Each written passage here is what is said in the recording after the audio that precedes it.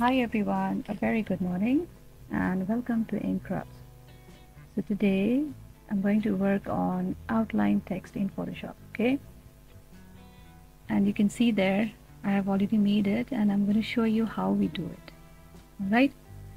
So see there when I touch it, so see the outline becomes white and inside it's transparent. So how do we create it? so let's do it.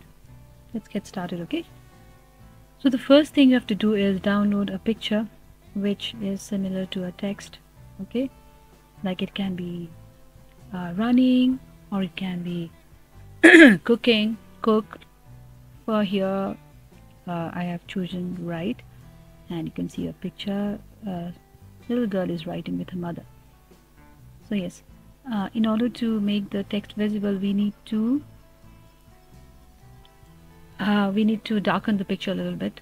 So we go to control plus L level and we make it more darker okay? Okay the first thing as you drop down the picture in Photoshop we need to duplicate it. So duplicate you already know it's control plus J. We use control plus J to duplicate any image okay? So I've kept the background as the picture and then I have duplicated it by using control plus J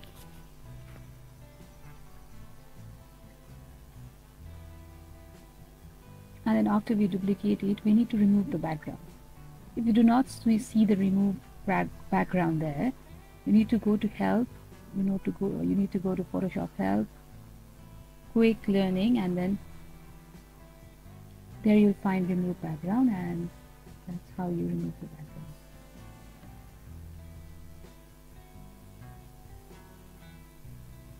See uh, you can see two pictures there. Uh, one picture already the background has been removed okay? Now I wrote right now in order to make it look transparent I'll color my text as white.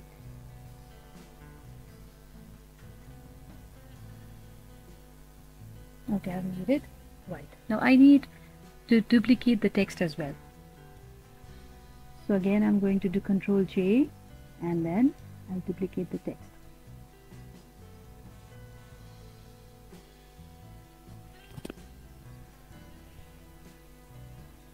so you can see there I've duplicated the text.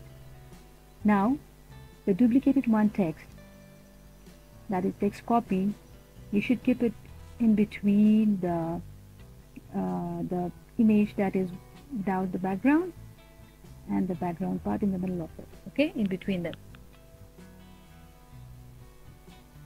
Yes after that you need to go to text again and you need to make the fill part there's option there fill part you need to make it zero percent.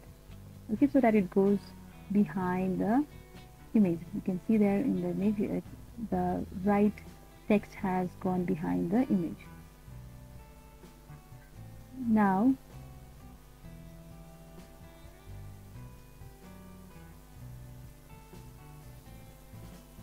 now the interesting part is you need to select both the layers that is text and the text copy. And then you need to go to the attachment down below. You need to chain up together chain this together I mean you need to join them together. Yes. Please select both the layers using control and see when you move it you can see there the writing letter is I mean the right text is moving with the outline text as well. Alright guys thank you for watching and please do like share and subscribe. You have a good day. Bye